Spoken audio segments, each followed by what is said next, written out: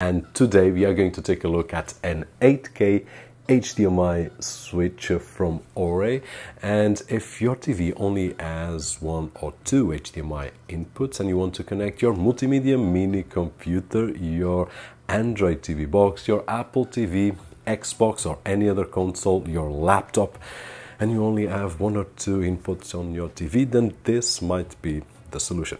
Now, one thing to have in mind, which is very important, not all switches are the same, and some of them will not transmit the same audio and video signals that our devices transmit which is not the case of the OREI. This one is capable of transmitting up to 8K at 60 Hz or 4K at 120 with all the signals that these devices are capable of emitting, but we will talk about that in just a few moments.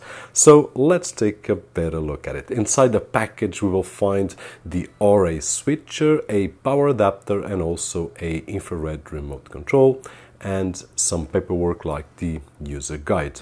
Connectivity wise, it's very simple. We will have four HDMI inputs at the back, one power input, and there is also a output, which is the cable that will go to our TV or to our monitor.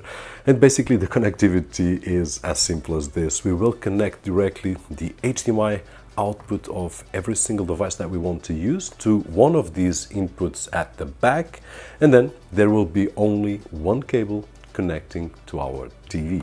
In this example, I did connect one mini computer with Windows 11 to the HDMI input 1, the NVIDIA Shield TV to the HDMI input 2, the Apple TV 4K to the HDMI input 3, and lastly my MacBook Pro to the HDMI input 4. And to select the source that we want to see on our TV, we have two ways. One of which is to press this button here at the front, which says input, and it will cycle through the several inputs that we have. In this particular case, we have four, but if you only have three, it will work the same way, but it will not use the last one. So it will cycle through the ones that are active.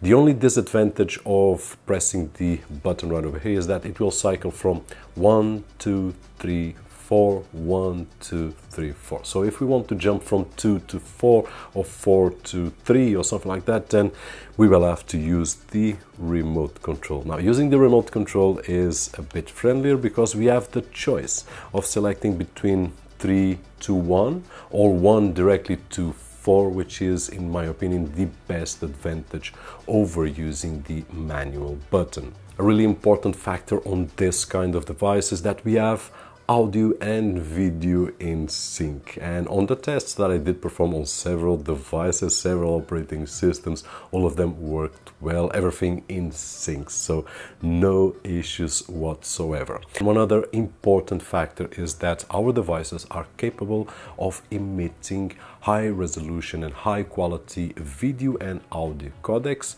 thing that the switcher from OREI is capable of handling and then transmitting exactly what it captures from the device.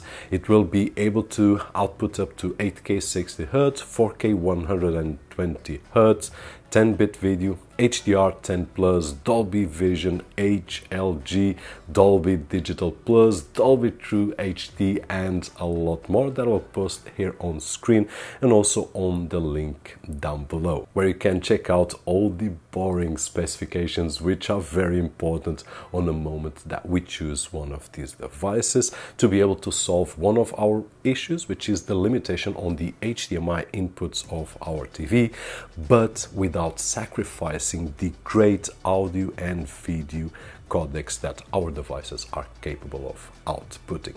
That being said, hope that the video was helpful in some way, and if it was, don't forget the usual thumbs up over there, which is really appreciated on this side of the screen. If you still haven't subscribed to the channel, please do right over there to be able to be updated with news and tips like this. As always, my name is Roberto George, and I'll see you guys on the next one.